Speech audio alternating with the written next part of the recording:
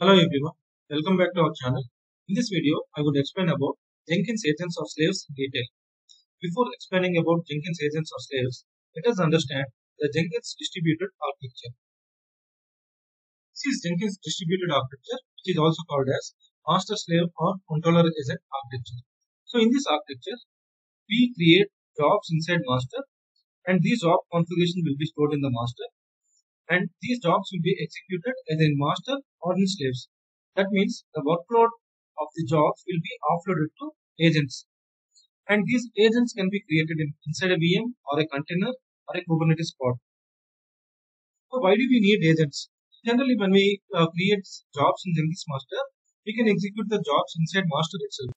But as the number of applications increases, the resources inside master are not sufficient. That means the CPU, memory, etc are not sufficient for executing more type of application jobs.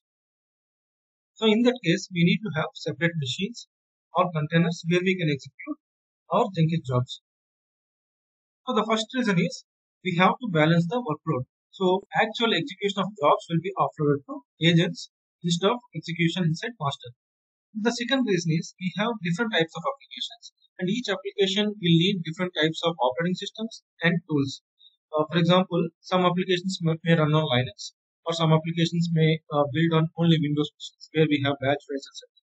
So in that case, we need to have like separate machines uh, for Windows-based applications and separate machines for Linux-based applications. And this problem can be uh, solved by using containers, where we can create different images for different types of application builds, and we can execute uh, all the builds in a single machine by creating different containers in the same machine. So in this architecture, what exactly happens? All the job information, which is job configuration, everything will be stored inside master, but the actual job execution will be done by agents or slaves. What are the different types of agents we have? So we have like two types of agents. One is outbound and inbound, another is permanent and dynamic.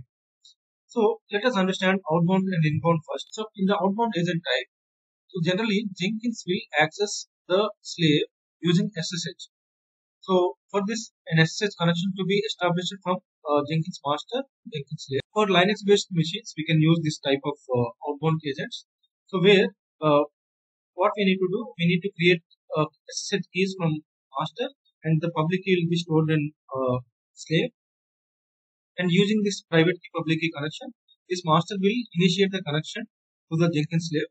Once the connection is established, it will transfer all the required files. Means Jenkins remoting jar file will be there. That file will be uh, transferred to the slave and that remoting jar will be executed inside a slave to connect to the master. So that way uh, both will uh, communicate uh, in a bidirectional way to achieve our job execution as well as the results will be sent back to the master.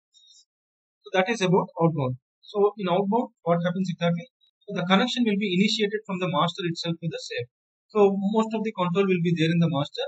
So we do not need to do much other than setting up the SSH connection from master to slave.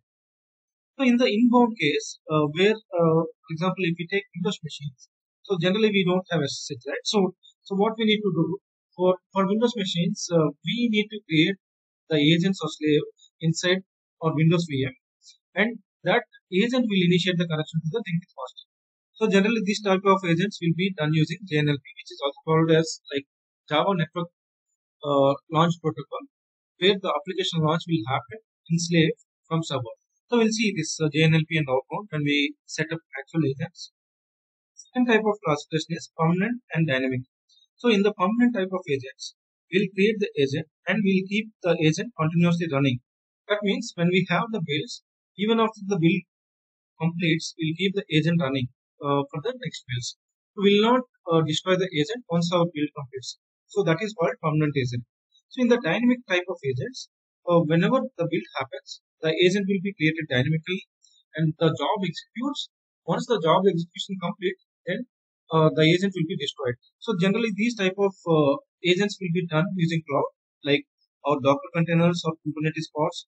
We can also create uh, our virtual VMs using AWS, GCP or Azure and we'll keep the builds running. Once the build completes, the VM will be destroyed. So that way also we can create dynamic type of agents. So we will see uh, different types of agents set up in the coming sessions. I hope uh, you understood this architecture. So in the next videos, I would explain about setting up different types of agents like uh, permanent agent setup or dynamic agent setup, also outbound agent, inbound agent. So all these types will be set up in the next uh, sessions. Thank you for watching. If you like the video, please subscribe to my channel and also please share with your friends.